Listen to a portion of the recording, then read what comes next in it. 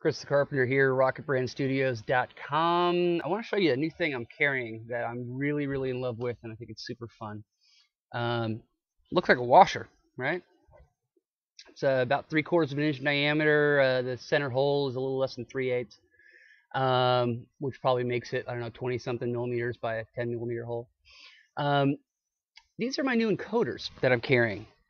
That's not a washer, it's actually an eight segment magnetic disc and the kit comes with uh, Hall effect sensors, and these are awesome. These have like electronics in it. It's not just a sensor. So uh, you got a three-pin standard servo connector, uh, 3.3 volt and 5 volt tolerant, just kind of whatever you want to give it. And um, when I say there's guts in here, what I'm saying is the output from here is a true high and a zero low it's not like an optical sensor where it's a it's a whoop-de whoop-de wavy wishy-washy signal. This is a high high and a low low. Click click click click click click click. Period. Uh, also, this sensor is incredibly tolerant in terms of how far it is away from the um, the disc. Uh, three millimeters, four millimeters, maybe five. You can you can have it pretty far away and it still works. It's it's really awesome. Um, these discs, these little magnet guys, come with a little rubber dealy where you can get a screw through the center, um, or you can cut it to fit your shaft, or you can slide it over, or you can do whatever you want to mount it.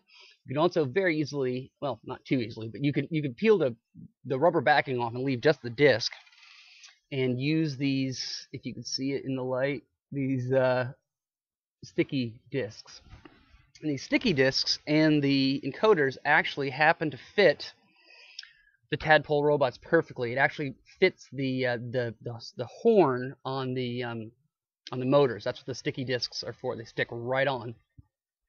And um, you can see here I've got uh, just really really simple handy dandy hold downs um, for the Hall effect sensors. They clamp they clamp right in.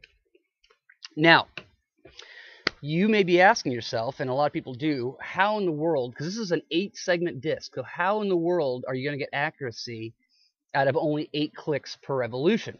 I mean, if you want a robot to draw or map or whatever, you're going to need like at, at a minimum 90 degree turns.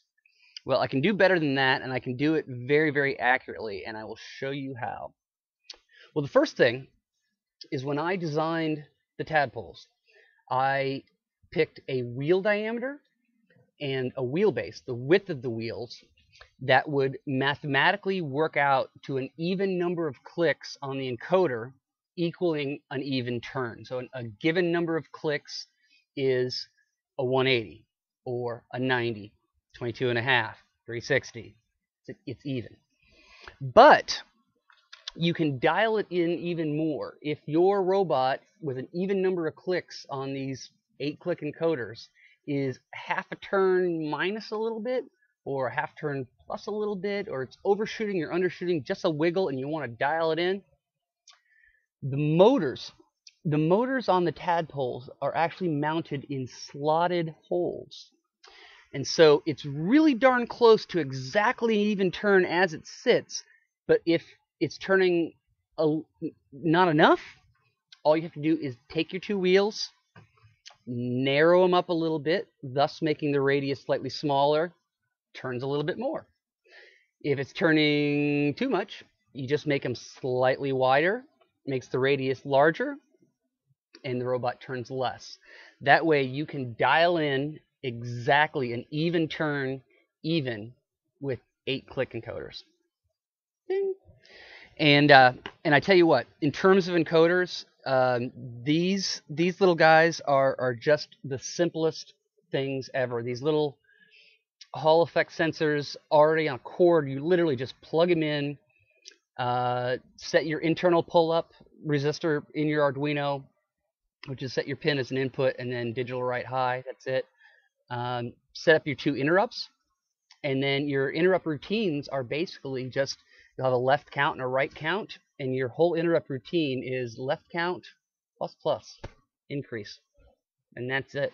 Every time a click goes by, that interrupt routine will be executed magically in the background. You'll never know what happens other than your encoders are clicking away without any fuss, no muss, no nothing.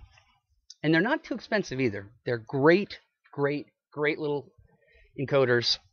Whether you're using them for the tadpole or you're using them for your robot, it all comes down to get this disc on something that spins and get this sensor kind of close to it. And you got yourself encoders. So there you go. Uh, the new encoder kit from uh, rocketbrandstudios.com.